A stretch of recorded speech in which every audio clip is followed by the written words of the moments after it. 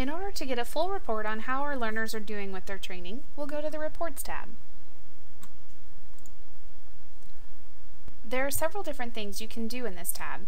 Similar to the other tabs in the system, you can click Add and Remove Columns to capture all of the data that you want. Just pull in those fields that you need. So I'll pull in Location, and then I'll also pull in Job Title,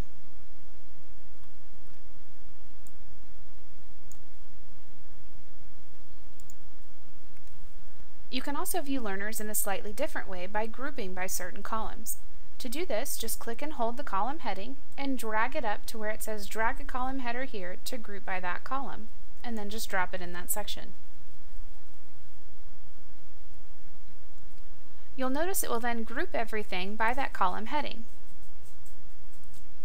So what I've done is group by login. Now if I expand each section, it's the assignments associated with the overhead login. And I can just drag that column back into the view to go back to the original settings.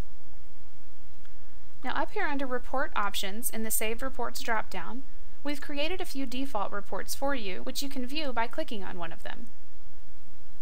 Since we manually completed some courses earlier, we'll have some data in the All Completed report, so I'll go ahead and select that. I can now select a date range if I want to. I do that by going to the Filter by dropdown, and we have four date options. I can select the date by activation date, assigned date, completed date, and due date. I'm going to select assigned date. You'll then see we get some additional options. I can set up a custom date range by selecting a from date and a to date, or I can select some of our preset options for current month, previous month, in the past, or in the future. I'm going to select current month and then click Apply Changes. Now this report shows me a list of any training that was assigned this month and is completed. But what if I want this report emailed to me on a regular basis without having to log in every time? No problem. I'll just click Save As, and I'll name the report Monthly Completed Report.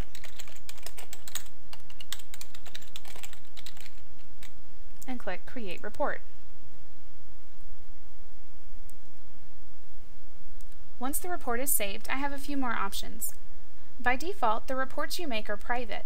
However, if you have made a report that you think would be beneficial for your other admins to access, you can click Make this report public for other users to access.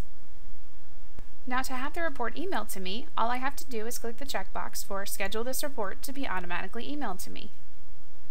Then I can select first of every month, first and 15th of every month, or weekly on every, and then I just select a day of the week that I would like it. Okay, I have my settings the way I want, so I'll just click Save. And now I'll get this report exactly the way I formatted it, sent to me on the interval I selected, so I can easily keep track of all of my employees. Another report in this section is the Compliance Report, this report views the data slightly differently than the main report. As you can see, each row is for one user. This report will list all of your users and tell you how many courses are assigned, how many are completed, and if they are compliant. What that means is if they have completed everything that is currently active. This report defaults to show you any course that is currently active. If you'd rather look at the data from a different perspective, you can change the date filter at the top. So let's say you wanted to view the data by how many courses are outstanding that are due at the end of the month. You just select Due Date, and then type in the date for the end of the month, and click Apply Changes. The system will total the number of assignments for each column at the bottom row, and then tell you how many of your users are compliant. If you'd rather view compliance based on the number of courses, just add the total assigned to the total completed and then divide the total number of completed courses by the full total to get your course compliance percentage. Additionally, if you sort by group, the system will also tell you the compliance percentage for a particular group. The last report you can view is the Training History Import Report. Now let's say your company has been using another online training system or even an in-person paper system for years, and you want to have that information stored in our system. This is the page to import that information. As the owner, you can dictate what columns are visible on this page. We default to these four fields, but you can delete all of them, or add to them, or just use what we have. It's really up to you. To add a column, just type in what you would need, so we'll type job title, and then click Add.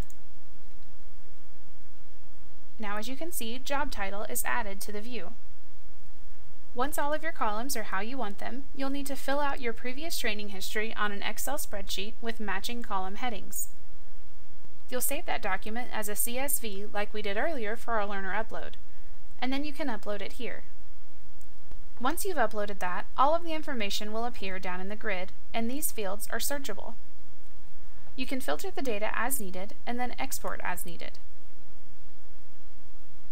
These reports will not integrate with our online training on the Reports tab. The purpose of this report is really to store previous information. Ideally, this will be a one-time upload of the data and serve as a single location all of your admins can go to search previous training records as needed. In this video, we have gone over how to customize the look of your LMS, add your users, create groups, assign training, upload your own courses, track offline training, edit assignments, and run reports. I think you're ready to go. Thank you for watching and please do not hesitate to let us know if you have any questions or concerns.